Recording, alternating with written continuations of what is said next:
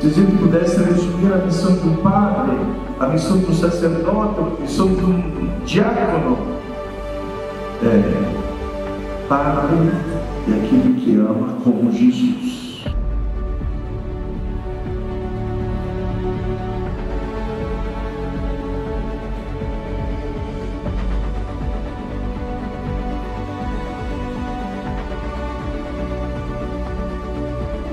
Nós não precisamos de padres medíocres, nós precisamos de padres santos. Então, para que sejamos padres santos, Nossa Senhora nos dirá o seu de matéria nos Amém.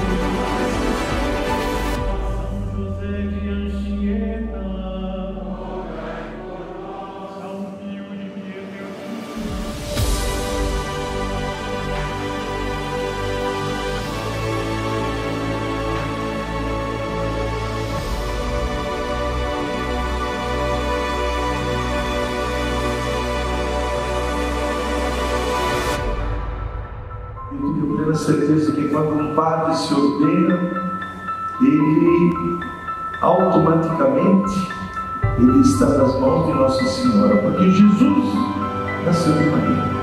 O padre é o outro Cristo.